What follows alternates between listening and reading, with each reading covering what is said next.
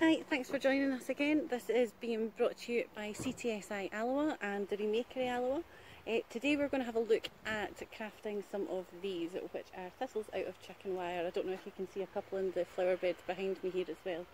And it's a very simple and very quick craft. What we're going to need for this is a bit of chicken wire. I'm using a light to form the, the bulb part of the thistle, but anything round that you can use to, to form to form the circle is fine. Uh, we've got canes for the stalk, we have some cable ties, we have wire cutters for cutting your length of chicken wire. These are for bending the, the wire in the bottom, these are just pliers. Some jute string and a couple of different colours of spray paint. You're cutting your chicken wire, what you're looking for is to have enough chicken wire at the bottom to create a hold around your cane and enough chicken wire at the top so that you can create the, the sort of uh, petal details of the thistle. So as long as you've got that, and it will be dependent on whatever size you're using to, to work round, whatever whatever size the, the ball is or um, or garden light that you're working with. So all we're going to do is wrap this around and we're going to keep it as tight as possible at the bottom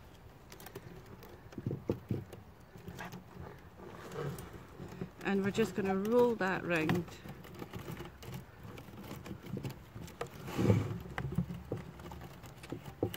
Okay, so what we're then going to do is we are going to press this in here so that that will give us the head of our thistle and we're also going to press this in at the bottom just to give us a circular shape. You can use uh, the pliers if it makes it easier for you. So pull that off and we get our cane.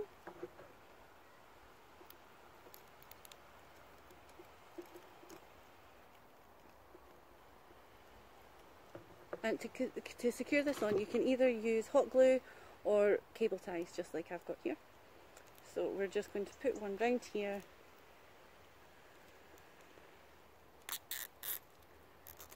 and pull that as tight as you can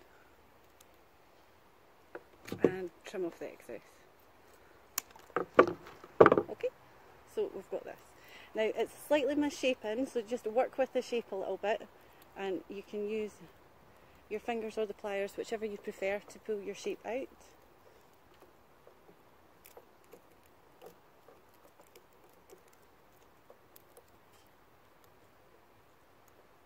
Any little bits that are sticking out, these bits that are uncut, I'm just pushing them in and folding them inside.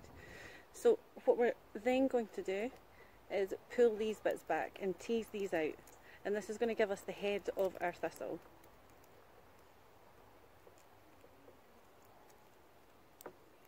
Now you can trim these and you can cut them off a little bit just to give you a better shape and a more true thistle form.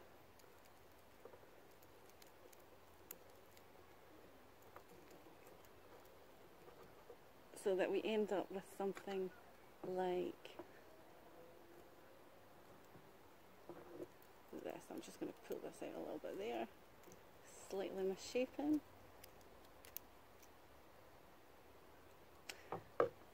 Now you can use a cable tie round the top as well, so we can do that just to give us even more of a, a thistle shape if we so wish.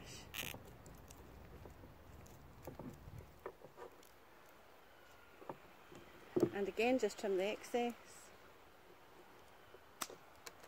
Now, this bit's also slightly longer, so I'm just going to trim these down.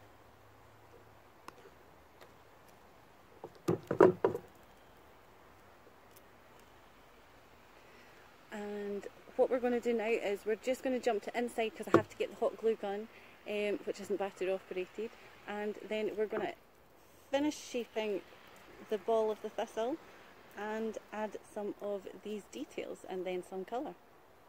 We'll join us back in just a sec. So we're back with our chicken wire thistle.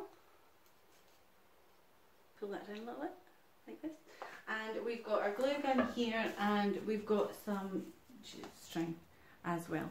So what we're going to do, the, the glue gun is across at the plug point, but I'll just show you a little close up here. What I'm going to do is I'm going to put some glue here and I'm going to lay this over the top and then I'm going to wrap it round and I'm going to continue that all the way up here. Okay, so I'm just going to do that just now.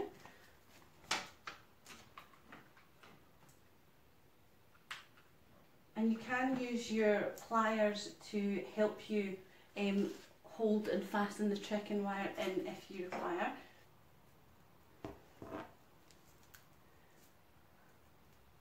Like so.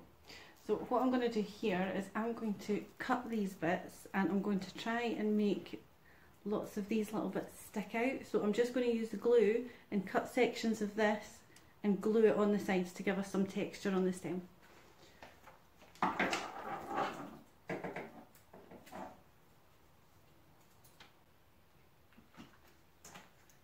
Just so you can see a little close up, we are just gluing that on with hot glue. We can get rid of the spider webs later. And then we're going to split them. So we're just going to split the string, just unpleat it to give us some more texture. So keep doing that until you feel happy with it and then we'll join you back for painting. We have here how it's looking so far. Again I have to remove some of the spider webs of the glue from it um, but what I've done is the bits that I've trimmed off that were perhaps too long, just the singular strands, I've just then used hot glue to glue them on and give us a little bit more texture around about the base of the thistle. So now we're going to paint. Spray paint is the easiest and quickest way to paint, especially if it's for something outside in the garden and if it's something like chicken wire when you're going to have actually quite a lot to try and cover um, that you probably won't be able to get to with a paintbrush. So I've just got a dark colour for the stem here and I've got, this is a PlastiKote um, that you can get in B&M and things in a purple lilac as well and that's what we're going to colour our thistle.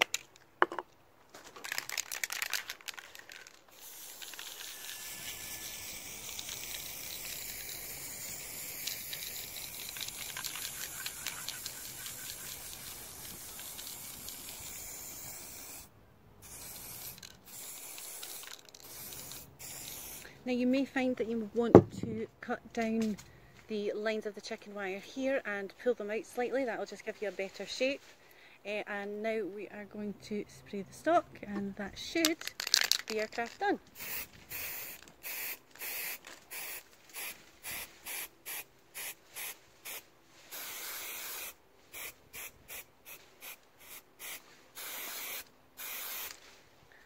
Sorry, excuse the rustling.